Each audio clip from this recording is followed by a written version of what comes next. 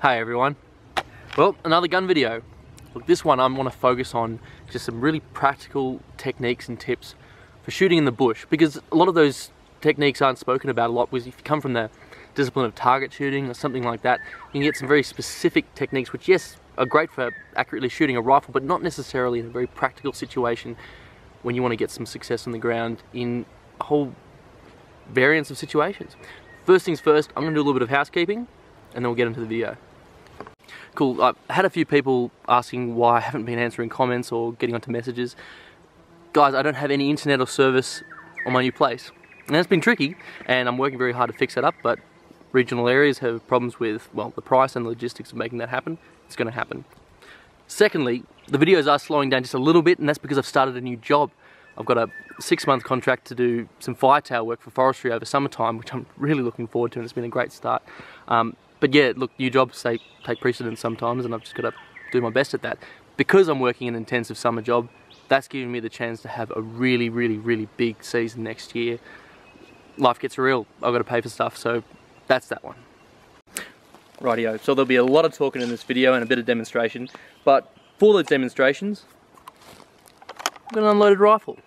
I've checked that a few times now want to emphasize that there's no ammunition involved in this demonstration or this video at all. And there's also no other people around. So if I'm doing a whole bunch of these ones, people want to have a crack at me about safety, it's been checked and it's all good.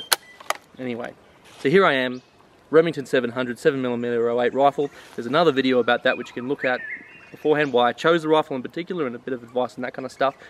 Let's get past the caliber questions, please. People get very, very hung up on the gun and people like to have the sexiest bit of kit, and that's not wrong. I would love to have an arsenal, I just can't afford one. What is a rifle worth unless you know how to use it properly and well?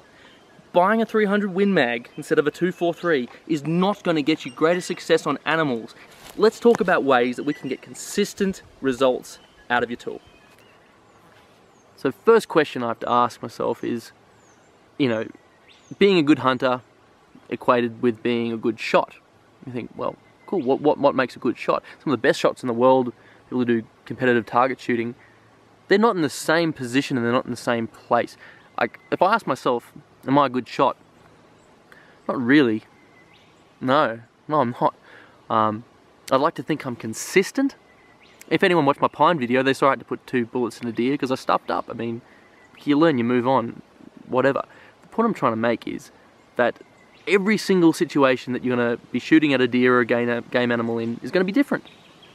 And having some basic muscle memories and habits developed that are going to help you address every situation with some sense of equality, that's what you're after. Think, well, go back to the range property, fix it there. That doesn't help us either. And the problem is, uh, I can get political, whingy, whatever, but like, shooting off the bench, what do you learn? Like seriously, like you, you don't. You don't learn. It's not applicable to field um, situations. I, all, all the ranges that I'd ever use and have accessed are in and around Sydney. So I know that some country ranges are different, have more relaxed rules. We know it's not, the rules aren't becoming more relaxed, it's becoming more that way. That's, that's, that's an issue. One thing I've often done is I dry fire and practice at home. I don't care how much of a wank you think it is, but you know, as a young guy I was keen on guns and finally got my hands on one, I was spending a lot of time at home, like just dry firing, is not great for your gun all the time, but things like that, just to just to get the habits going and going ready. I want to show you a few of these basic habits that I want like especially young guys to hear because I think this is what's going to help. Just these basic habits if you get it from the very beginning it's just going to have a flow-on effect through your whole hunting career lifetime lifespan whatever. Here they are so one thing I want to cover first is how you're actually carrying your rifle. Of course, I mean, it is possible just to carry it around all day, but you know, any hunter who's had any experience in the field is going to have a sling. I mean, it's pretty common sense. I have chosen a safari sling. It's not a perfect system, but I have found it very, very useful for stalking in the bush. Now the reason, amongst other things is, well, open hands, that's really handy. That is really, no pun intended. One of the main things is when you are in the last moments of a stalk on an animal, it's the stuff around that gets you. alerting the animal whilst you're trying to get yourself ready. Now, one message I'm going to keep pushing throughout this whole video is to keep things basic and simple so that there's no fuck around factor. We don't want to fuck around because then they fuck off. Starting here, it's it's narrowing my my profile amongst other things as well. It's like I'm not having like reaching out for a rifle over my shoulder or doing any side movements like this. It's all centralized. Up in one. When I'm carrying this, I, and this is like in the last moments of a stalk, I've got a round in the chamber and I've got my bolt up. So I've put the round in and my safety catch is the bolt up. That's my choice. I want to emphasize that safety is everyone's individual responsibility. Yeah, there is such thing as a safety catch. There's a reason why there's no safety courses, firearm safety courses in Australia that preach the use of it. It's because it's not safe. It's not. If you choose to use it, and I'm going to admit that there are times, very occasionally, like in the last 30 seconds of a sambar stalk where I have had my safety catch on, that's bolt down safety catch on, so that it minimizes, so it's just a quiet click off. But even then it makes some noise. It's not safe. I'll have it up like this, and if I see an animal, gently push down there, or lift it up, or bring it up to the eye, and then down there. So here's my rifle now rigged up with a traditional sling. This is Tristan's. I don't know if he knows I have it, but thanks, brother. Um, yeah, cool. So this is what I think 90% of rifles and firearms would have on them, or the sling them. I'm not saying that having a rifle like this, which is pretty normal, is wrong. It's not wrong. But I am saying that if you're in the last minutes of a stalk and you know you're reacting to an animal that's just there, doing this one is movement. And we'll see movement pretty easily. So let's just like again, not wrong to have this, but just say you are in the last minutes of a stalk. I advocate doing it this way. So it's having it like straight on like this. And again, it's quite comfortable. You can't just like run around all day without it maybe coming off eventually, but hold it firmly like this, right at the front. So there you are in the last moments, walking forward. You spot it, you suss it out, you identify it. One of those ones. I find that really, really useful and very helpful. But let's let's look at the fundamental cause of why shots might fluff up. As in like why why a poor shot might happen. 90% of the time, shaky hands. Like seriously, it's it's that sounds like such an obvious thing to say, and you think, well, what's the worst shooting position you could then take in order to knock down an animal? That's going to be like the least supported, um, where the shaking factor is the most, the hardest to get a proper shot on. It's probably the old offhand, off the knees anyway, but like that. So does that mean it's wrong to shoot offhand? No, I reckon more than half the animals that I've taken in my life have been offhand. Tricky shots. Ways of managing that, though, there's plenty of ways. I mean, the obvious way is to find some kind of makeshift rest. I'll go into that next, but let's look at some ways that we can do it straight away. Cool. Offhand shots. Got an animal in my sights. Oh, and it's moving around a little bit. Obviously, the further away it is, the more the wobble factor affects it yes, that's a tricky one, but what's completely different to that is because the reason why there's a wobble factor is because that front arm is trying to stay stationary and it's trying to hold a weight at the same time. So I'm trying to make it all happen, tensing different muscles, that's when the shake comes from. It's a whole different thing when you pick up an animal and you start to trace it and move it. Taking a moving shot offhand, completely different. And you will find that you probably get better accuracy. You can't take a moving shot from a rested position that easily let alone from a prone lying down or anything like that. I mean, so I'm saying offhand shots aren't a poor shot to take. Let's just find ways to manage them. So it's a moving shot, all good. Just say it is stationary.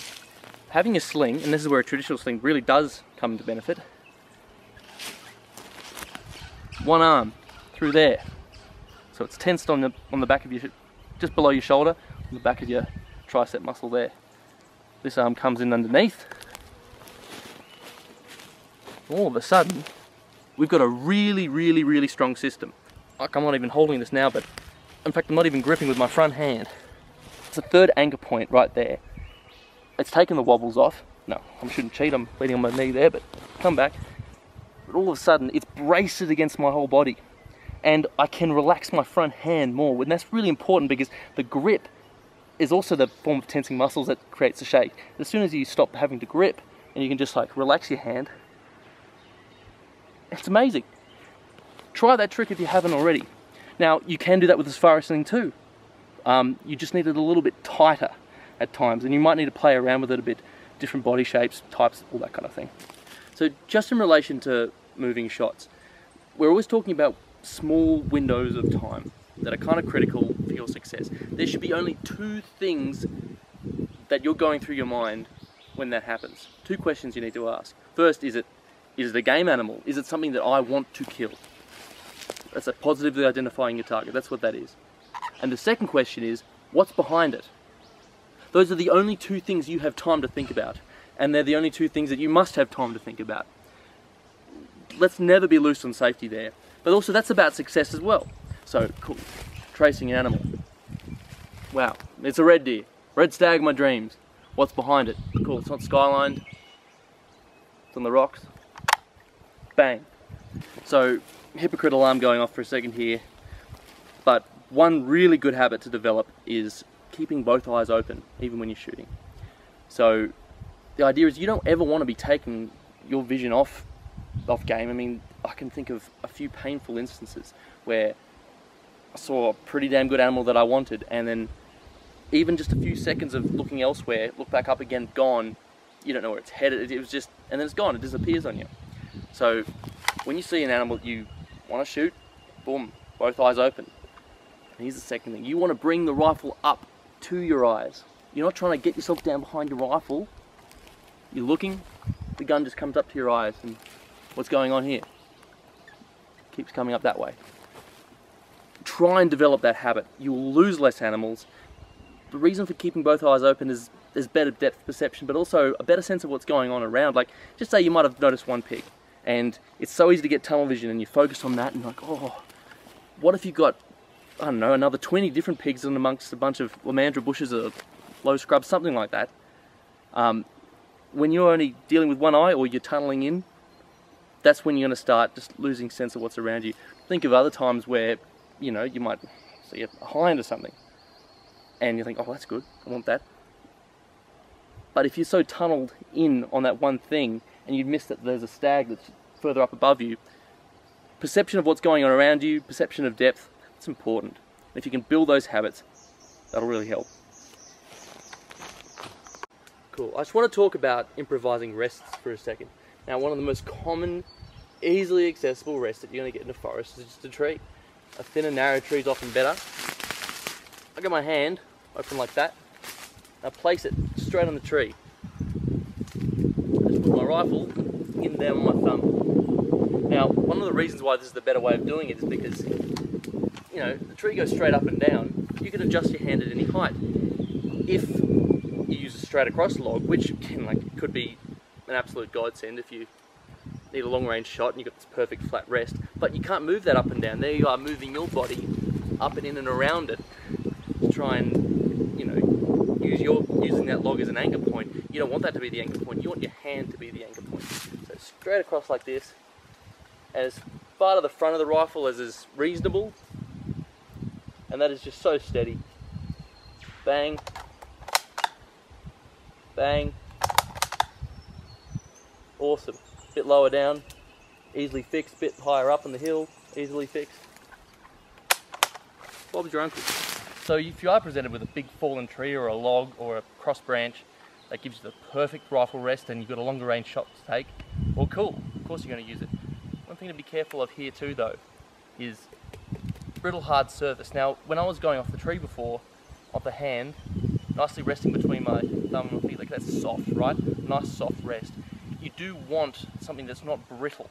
Because if it's brittle, the way the rifle recoils can, it, it just creates a whole bunch of variables. And of course at longer range, those variables show up, show up and can really stuff up your hunt, right?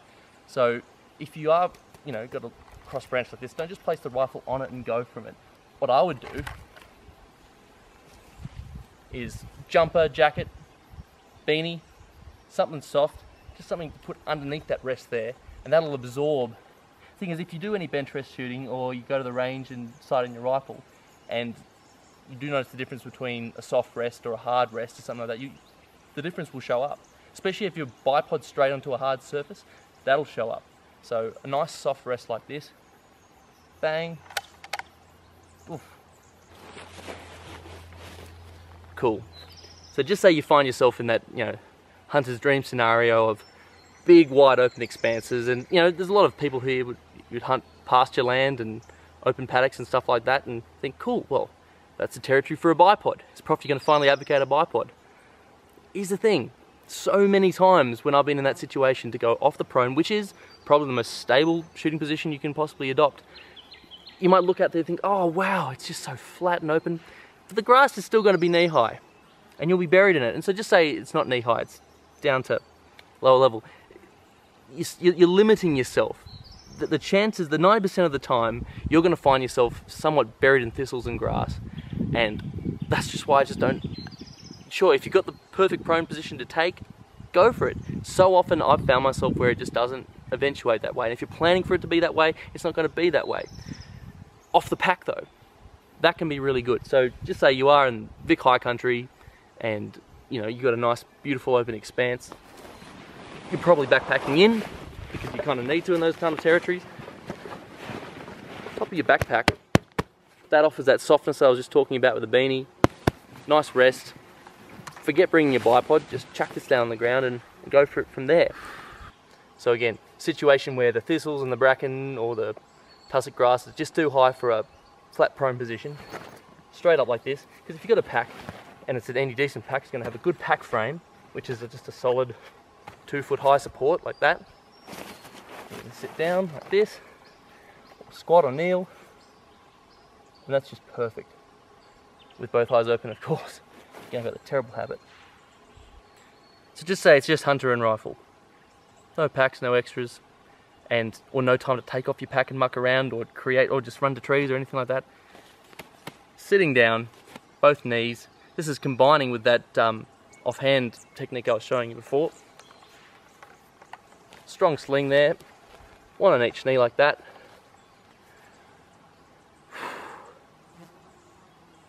That's a great position. And you can just tuck your knees up if you need to get more height onto it. Down a little bit if you need a bit lower. You can put one knee to the side like this. And that's like putting your entire lower arm on your knee like that. Extremely solid rest. I think it's important to mention that there is um, one basic skill which does apply to all shooting disciplines. Um, it's breathing. And it's, I just thought to myself, well, I'm doing one specifically, a video specifically on practical shooting, but there's a lot of people who might have not had any shooting coaching at all, but just got their gun license and all that. Guys, controlling your breathing and integrating that into the shot, it's so fundamental. So, to my old comfy position, as soon as you address your target, cool, there's my deer, having a look at it. Half the reason for controlling your breathing, or making sure that you are breathing, because if you're so narrowed in on something, you can kind of hold your breath, go, uh, uh, uh, you know, and if you're not breathing, you're not getting oxygen in. If you're not getting enough oxygen in, your vision is going to get blurry. But that being said, like if I was shooting targets and I might even take a couple of shots, a couple of breaths in before I take my shot. Now notice, every time you breathe in, the barrel goes down, breathe out, Uh, comes up again. And so you need to anticipate that. I think I normally have time for maybe one decent breath before I shoot. And what will often be, and I'll see if I can get some vision behind the scope, is breathe in, start breathing out until my crosshairs bang and like you know you don't like let it rest on the target for a bit and go okay is that good you go mid movement bang so as soon as it's it comes up level to that point that you want to hit you don't wait for the shot. You squeeze off as soon as it's bang just behind the shoulder or wherever you intend to hit. Another thing when hunting the scrub is to make sure that you've got your rifle on the lowest magnification possible. Because if you've got a longer range shot come up, you can always just wind it up because it gets, if it's a longer range and the animal's further away, there's a chance that it's not being spooked or it's still sussing out. The further away the game is, the more of a chance you've got and the, a little bit more time for stuffing around if you have to. So if you have it on full mag, full magnification like this, and you get completely lost in your scope because it's just like putting your head on a microscope that's not focused or something like that, that's going to do you no favors and you'll lose animals. Well guys, ah, it's starting to rain. So that's the end of this one. Look guys, I hope that's been helpful to some of you. I know I ramble a bit, that's just my habit, but with any luck, there's some tips there and some good habits that can be developed by new shooters. Anyway, good times in natural guys. Catch ya.